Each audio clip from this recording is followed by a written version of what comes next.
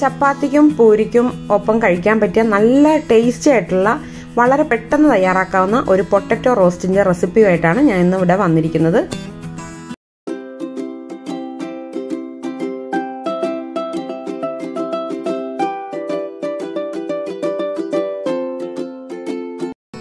നമുക്ക് നേരെ റെസിപ്പിയിലോട്ട് കടക്കാം. ഈ പൊട്ടറ്റോ റോസ്റ്റ് ഉണ്ടാക്കാനായിട്ട് ആദ്യം നാല് വലിയ പൊട്ടറ്റോ എടുത്ത് ചെറിയ കഷ്ണങ്ങളായിട്ട് കട്ട് ചെയ്ത് വെച്ചിട്ടുണ്ട്. ഇതിലേക്ക് ഒരു ടീസ്പൂൺ മുളക് പൊടിയും അര ടീസ്പൂൺ മഞ്ഞൾപ്പൊടിയും ചേർത്ത് കൊടുക്കുക. ഇതിലേക്ക് പാകത്തിന് ഉപ്പും ചേർത്ത് ഒരു ഗ്ലാസ് വെള്ളം ഒഴിച്ച് കുക്കറിൽ അടച്ചു വെച്ച് ഹൈ ഫ്ലെയിമിൽ ആദ്യത്തെ വിസിൽ വന്നതിന് ശേഷം ലോ ഫ്ലെയിമിലോട്ട് മാറ്റി ഒരു രണ്ട് വിസിലും കൂടി വരുത്തുക. ഏകദേശം ഒരു അഞ്ച് മിനിറ്റ് കൂടെ വേവിച്ചാൽ മതി. ഫസ്റ്റ് വിസിൽ വന്നതിന് ശേഷം. അങ്ങനെ വേവിച്ച സൈഡിൽ മാറ്റി വെക്കുക. ഇനി പൊട്ടറ്റോ റോസ്റ്റ് ഉണ്ടാക്കാൻ വേണ്ടി ഒരു ഫ്രൈ പാൻ അടുപ്പിൽ വെച്ചിട്ടുണ്ട്. അതിലോട്ട് നാല് ടേബിൾ സ്പൂൺ വെളിച്ചെണ്ണ ഒഴിച്ചു കൊടുത്തിട്ടുണ്ട്. ഇനി ഇത് നല്ലപോലെ ചൂടായി വരുന്ന സമയത്ത് നീളത്തിൽ അരിഞ്ഞു വെച്ചിരിക്കുന്ന വലിയ ഒരു സവാള ചേർത്ത് ഒന്ന് വഴറ്റിയെടുക്കാം.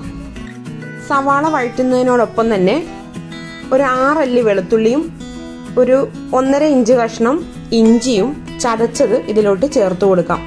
ഇനി ഇതിലേക്ക് അല്പം കറിവേപ്പിലയും കൂടി ചേർത്ത് നല്ലതുപോലെ ഒന്ന് ഇളക്കി വഴറ്റിയെടുക്കാം.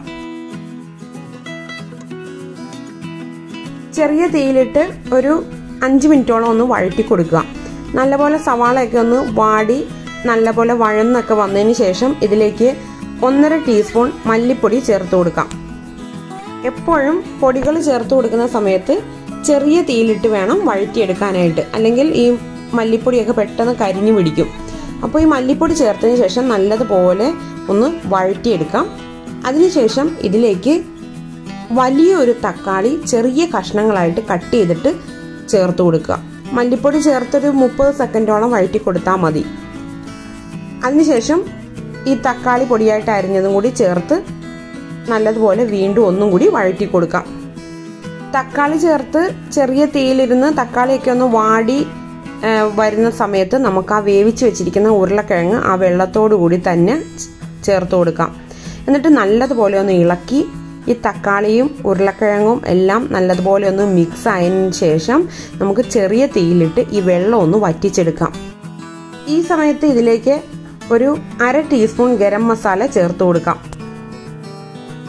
വീണ്ടും ഒന്നും കൂടി ഇളക്കി കൊടുത്തതിന് ശേഷം നമുക്ക് ഈ വെള്ളം നല്ലപോലെ വറ്റി വരും. ആ സമയത്ത് നമുക്ക് കുറച്ച് മല്ലിയിലയും കൂടി അരിഞ്ഞ് ഇതിന്റെ മുകളിലോട്ട് വിതറിയിട്ട് തീ ഓഫ് ചെയ്തിടുക. മല്ലിയിലയും കൂടി ചേർത്ത് കൊടുക്കുമ്പോഴാണ് ഈ ഉരുളക്കിഴങ്ങ് റോസ്റ്റിന് ഒരു പ്രത്യേക ടേസ്റ്റ് കിട്ടുന്നത്. ഇഷ്ടമുള്ളവരൊക്കെ ചേർത്ത് കൊടുക്കുക. ഇവിടെ നല്ല അടിപൊളി ടേസ്റ്റിലുള്ള ഉരുളക്കിഴങ്ങ് റോസ്റ്റ് റെഡി ആയിട്ടുണ്ട്. വളരെ പെട്ടെന്നാണ് ഇത് തയ്യാറാക്കി എടുത്തിരിക്കുന്നത്. ചപ്പാത്തിയുടെ ഒപ്പം കഴിക്കാനാണ് ഇതിന് ഏറ്റവും നല്ല രുചിയായിട്ട് എനിക്ക് തോന്നിയത്. പൂരിയുടെ ഒപ്പം നല്ലതായിരിക്കും. എല്ലാവരും ഇതൊന്ന് ട്രൈ ചെയ്ത് നോക്കുക. അഭിപ്രായങ്ങൾ കമന്റിലൂടെ അറിയിക്കുക. വീഡിയോ ഇഷ്ടപ്പെട്ടുവെങ്കിൽ ലൈക്ക് ചെയ്യുക. നിങ്ങൾ ആദ്യമായിട്ടാണ് എന്റെ ചാനൽ കാണുന്നതെങ്കിൽ ഒന്ന് സബ്സ്ക്രൈബ് ചെയ്യുകയും കൂടി ചെയ്യുക. ആ തൊട്ടടുത്തുള്ള ബെല്ലൈക്കണിൽ ക്ലിക്ക് ചെയ്ത് ഓൾ എന്ന് പറഞ്ഞ ഓപ്ഷൻ ഇനേബിൾ ചെയ്ത് വെച്ചാൽ ഞാൻ അപ്ലോഡ് ചെയ്യുന്ന എല്ലാ വീഡിയോസിന്റെ നോട്ടിഫിക്കേഷൻസ് നിങ്ങൾക്ക് ലഭിക്കുന്നതായിരിക്കും. അപ്പോൾ മറ്റൊരു നല്ല റെസിപ്പിയായിട്ട് നമുക്ക് അടുത്ത ദിവസം കാണാം. Thank you by